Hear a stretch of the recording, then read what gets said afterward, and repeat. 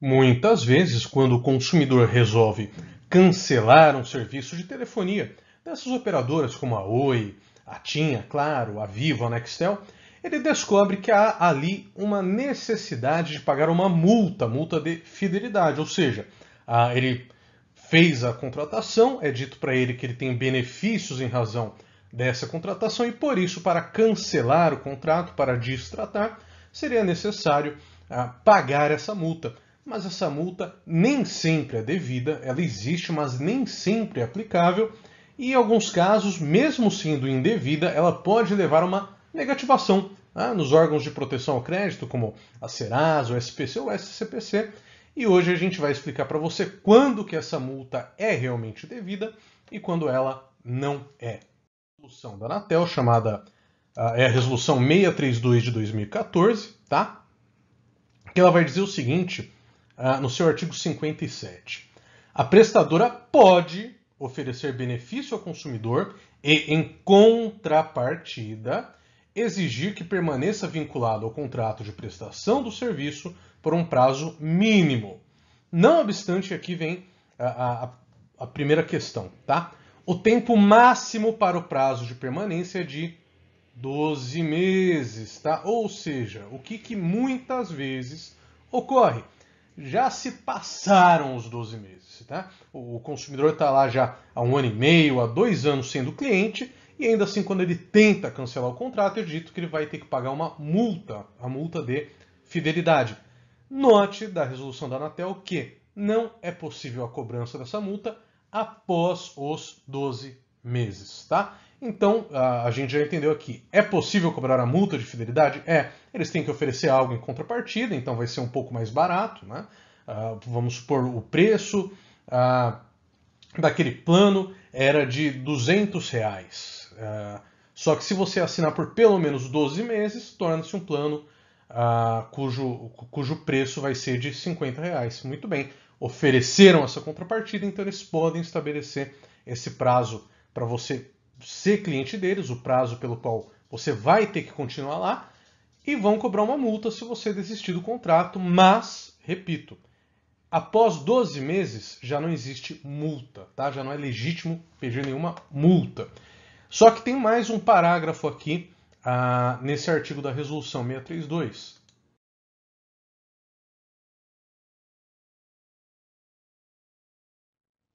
Que é o parágrafo segundo, que vai dizer, olha, os benefícios referidos no caput devem ser objeto de instrumento próprio. O que, que significa instrumento próprio para o direito?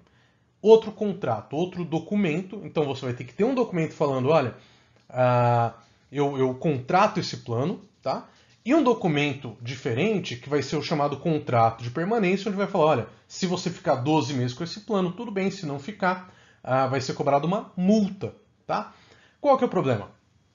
Dos contratos que chegam para a gente aqui no escritório, dos problemas de negativação indevida em razão dessa multa, 99% são, são feitos por telefone. Tá? Hoje é muito raro alguém numa loja da Vivo, alguém numa loja da Claro, para assinar um contrato de linha telefônica. 99% é via telefone a contratação.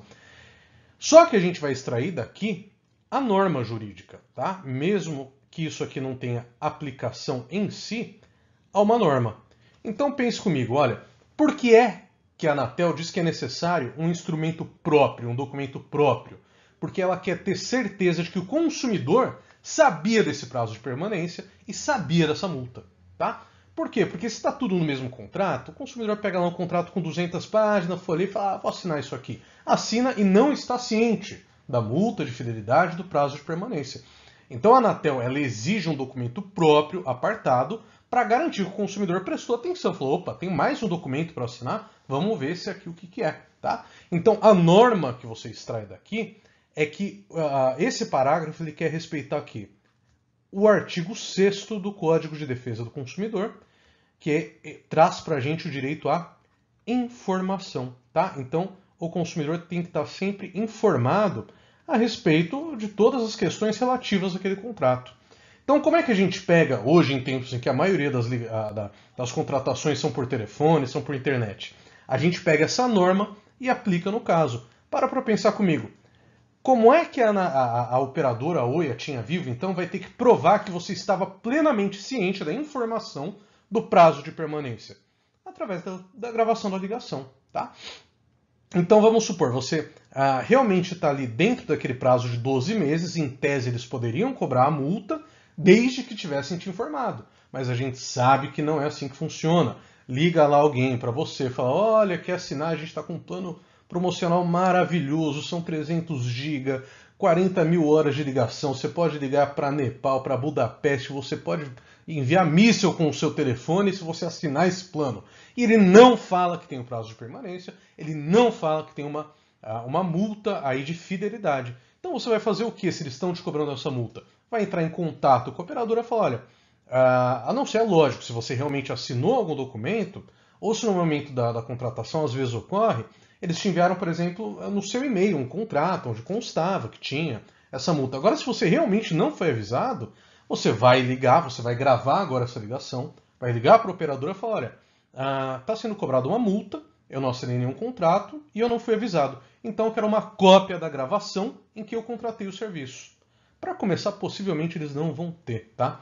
A maioria das gravações são perdidas ali, porque eles têm ah, eles têm uma lógica interna das gravações que guardam, que não guardam, a maioria é perdida. Mas ainda que eles tenham essa cópia, pensa comigo, não, não vai ter nada ali que possa ajudá-los a cobrar essa multa, porque eles realmente não te informaram, tá? E se não tiverem a gravação, é pior ainda para eles, porque aí ah, opera o que a gente chama de inversão do ônus da prova no direito do consumidor. Você vai falar, olha, não me foi avisado da multa, não tem contrato, e portanto eu não vou pagar a multa. E se tiver que ir para o Poder Judiciário, é claro, ah, o que se aguarda, caso o juiz é, realmente conheça o Código de Defesa do Consumidor, é que ele vai falar: olha, se a operadora não tem a gravação, não pode cobrar a multa. E por fim, é claro, se você passou por essa situação e resolveu não pagar a multa, é muito possível que você tenha sido negativado nos órgãos, né, nos serviços de proteção ao crédito, como é o SPC, o SCPC, o Serasa, e caso isso tenha ocorrido, você tem direito, através de um processo judicial, uh, você tem dois direitos. Né? O primeiro é a baixa da inscrição desabonadora, da negativação. Isso aqui costuma acontecer uh, depois que você entra com um processo entre 7 a 15 dias, alguma coisa assim, tá? Caso o juiz dê para a gente uma liminar. Né? É possível que o juiz não dê a liminar? É até possível, mas a, a gente que tem experiência costuma ver que em 80% dos casos, nesse prazo aqui, a gente já consegue uma ordem ah, do juízo para baixar aquela inscrição, aquela negativação, que está incomodando, que está atrapalhando o consumidor. E o processo continua correndo para demonstrar que realmente aquela multa é indevida, que a negativação é indevida. E a negativação indevida ela atinge uma coisa que o direito chama de direito da personalidade, e por isso você tem direito a uma indenização por dano moral que costuma variar a depender de cada caso, a depender da localização a, do, lugar onde o consumidor vai entrar com o processo, varia de 5 a 10 salários mínimos nacionais. Tá? Agora, essa indenização por dano moral aqui tem uma condição para você poder ganhar, que é a seguinte: ah, isso aqui está contido na súmula 385 do STJ, que diz o seguinte: se você já está com o nome sujo, devidamente, ou seja, você estava devendo para o Bradesco, você estava devendo para o Banco do Brasil, você estava devendo, não importa para quem, negativaram o seu nome, você já estava com o nome sujo devidamente, e aí vem a operadora Vivo, vamos supor, e te negativa por causa dessa multa de fidelidade que ela não poderia cobrar.